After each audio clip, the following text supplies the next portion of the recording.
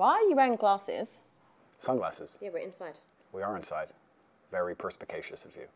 I have bad eyes. You have bad eyes. I have bad eyes because after so many fights in the ring, I had a retina detachment, and there's a lot of bright lights here, and it makes my eyes very uncomfortable. I don't want to squint on camera, so I'm wearing sunglasses. So if you want to continue to make fun of my medical condition, Why would I make fun of it? You just tried. I know you just tried. No, it's fine. No, no, it's fine. No, it wasn't. It was a genuine question. Yeah, yeah, yeah, yeah. Just try to make mock No. me. It's fine. First is men, men, men's mental health, but if you've got a retina detachment, it's fine. No, no, ha ha ha. Actually, it's funny was now. actually, I was asking you because eye contact is important to gauge conversation. Is it? I You wanna- do you wanna look I in my wanna eyes? Like how we're enjoying. Yeah, Let me see. We g- give it a few minutes. it's you know etiquette, isn't it? It is. You're right. It's polite. You're right. It's polite.